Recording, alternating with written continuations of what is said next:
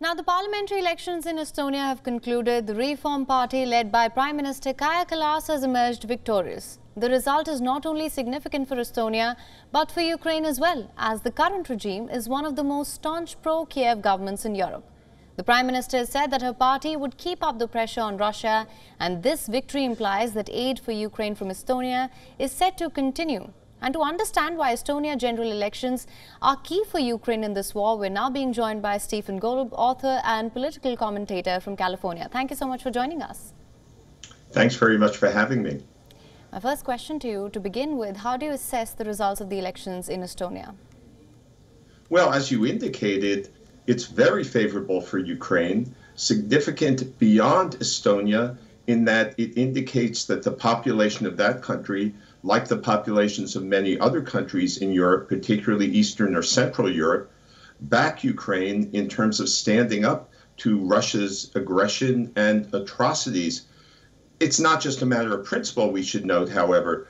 If Russia succeeds with crush in crushing Ukraine, it will have incredible ramifications for some other neighboring states, be they Moldova or Georgia or Poland or Estonia and the other Baltic states, because they will next be in the eye of Russia, targeted by Russia for aggressive moves and possibly even invasion itself.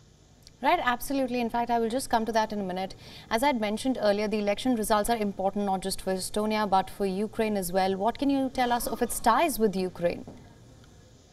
It well, you know, as a as a fellow former part of the Soviet Union, it benefited tremendously from the breakup of the Soviet Union, even more than uh, Ukraine. It had certain it had certain democratic traditions, or at least the roots of democracy that could flower, which has certainly happened there.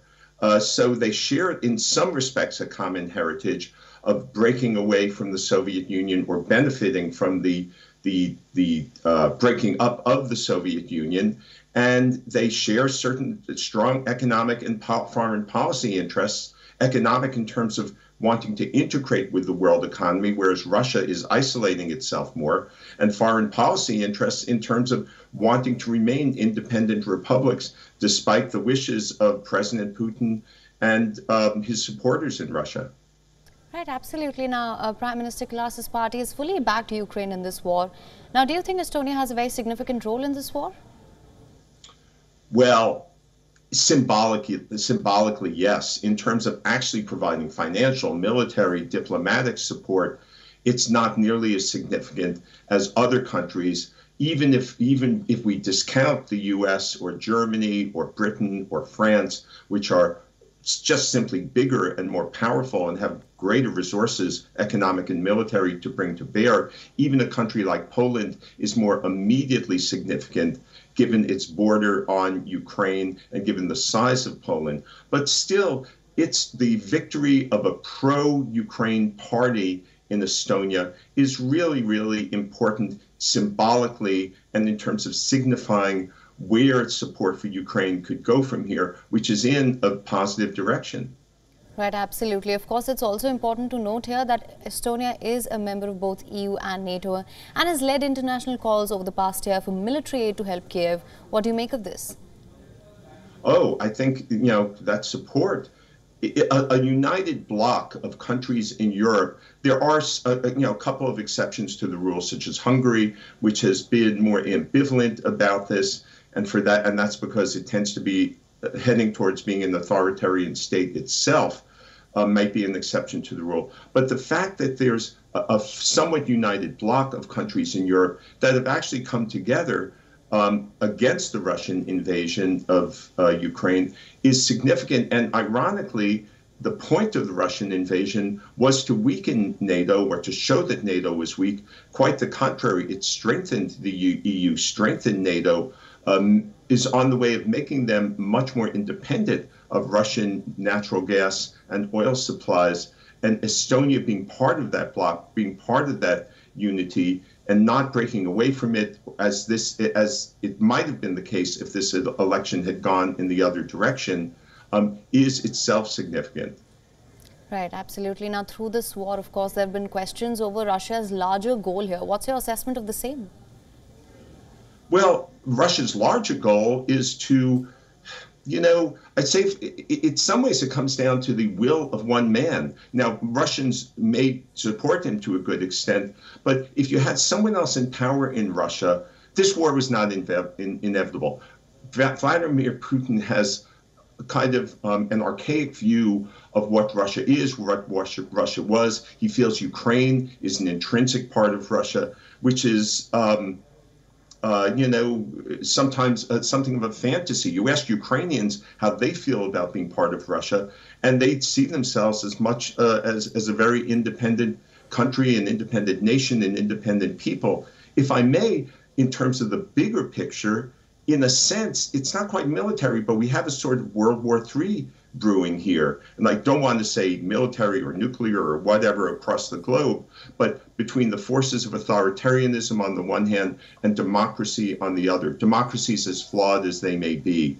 And I think the authoritarian forces have kind of crested in many ways. It's not as though they've been defeated, but the fact that President Putin has had such trouble with the invasion of Ukraine says something about the flaws in the, in the authoritarian model. One more thing I'll add in terms of the bigger picture hmm. is that it's in India's interest actually to see things in this way because Russia is in some ways now a client state of China. Uh, if push comes to shove and there's a there's a war or or other disputes between China and India, Russia is going to side with China because it depends tremendously on China for military, economic, diplomatic, and other t- types of support. So I'm not one to tell India what to do, but I hope India is keeping that in mind as it decides where its own interests lie. Right, absolutely. India's position on this has been very clear from the start. Now, my other question here is Estonia's military assistance to Ukraine, it amounts to more than 1% of its GDP. Now, that's the biggest contribution of any country relative to the size of its economy. What's your take on this? Do you think it's effective and sustainable? That's a great question, a great point, and a great question.